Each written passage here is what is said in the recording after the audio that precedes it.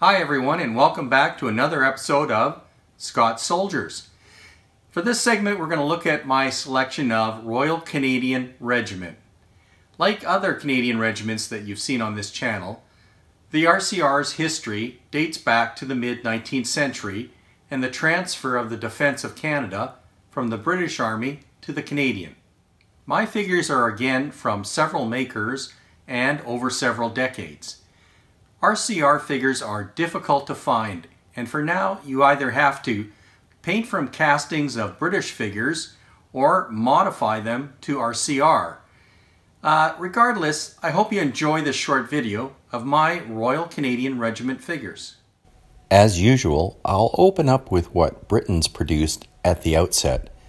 These figures are from set number 1632 and were produced from 1938 to 1941. You'll note how they are very similar to the Princess Patricia's Canadian Light Infantry number 1633. However, the RCR has dark blue facings on its uniform and a red band around the Wolseley helmet. Note the bayonets, which are the pre war needle versus the post war spade. I know I've mentioned this before, but would it kill Britains to look at its molds from the past and see if it has regiments like the RCR kicking around? Maybe even do a survey to see if there is enough interest in doing castings or sets of its pre war figures as a gesture to collectors. This next grouping are two nostalgia figures, number 247, which I picked up from Andy Morant of London. I'd like to find more, but again, that is part of my journey. These figures are wearing a late 19th century slouch hat and gear, likely indicative of the regiment's service in 1898 during the Yukon Gold Rush to support the Northwest Mounted Police in enforcing law and order in the territory and on mining operations.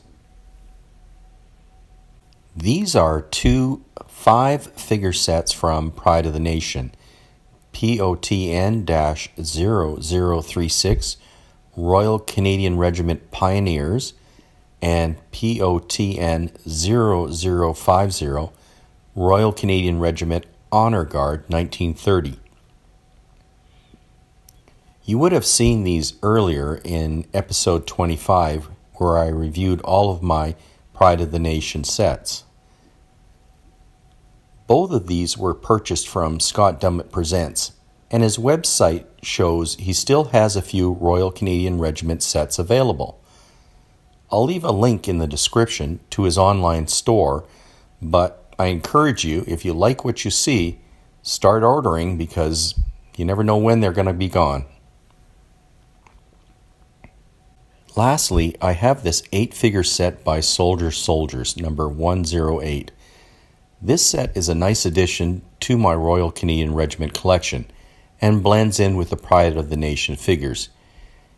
It's a more contemporary version of the Royal Canadian Regiment, I'd say post World War I, and includes, amongst the rank and file, an officer, bugler, and an NCO.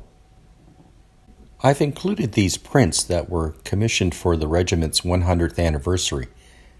As you can see, the regiment's uniforms are very similar to those of its British Army counterparts in the late 1900s. And as I've said before, you could convert castings, such as the Royal Marines Light Infantry, for example, to add to your holdings. If you enjoyed the video, and if you have some extra time, hit the like or subscribe buttons as this helps the channel grow and reach out to other viewers with similar interests in this hobby. Speaking of which, this week we crossed the 20,000 views and over 170 subscribers as tracked by YouTube. No, I don't get anything for this new plateau, but I did want to thank you, the subscribers and viewers. It might not seem like a lot in comparison to other channels out there, but I'm grateful.